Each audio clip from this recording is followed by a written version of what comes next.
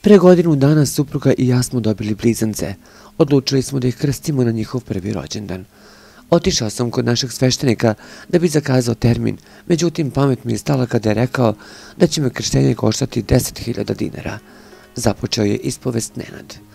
Srpska pravoslavna crkva navodi da ne postoji cenovnik za verske usluge, međutim, stvarnost je malo drugačija. Nenad je odustao od krštenja dece u svojoj parohiji, jer, kako kaže, nije imao dovoljno novca. Nisam znao da će mi sveštenik tražiti 10.000 dinara. Htio sam da ostavim dobrovoljni prilog, ali ovo stvarno previše. Odlučio sam da se raspitam kod ostalih sveštenika kolika je tarifa, pa da vidim gde je najjeftinije, jer sam stvarno htio da krstim svoju decu, rekao je Nenad. On je tada od prijatelja koji je krstio svoje dete čuo da sveštenik u susednom mestu ne naplaćuje krštenje. Uputio sam se tamo, nisam se previše nadao, ali nisam imao šta da izgubim. Ispostavilo se da je moj prijatelj bio u pravu.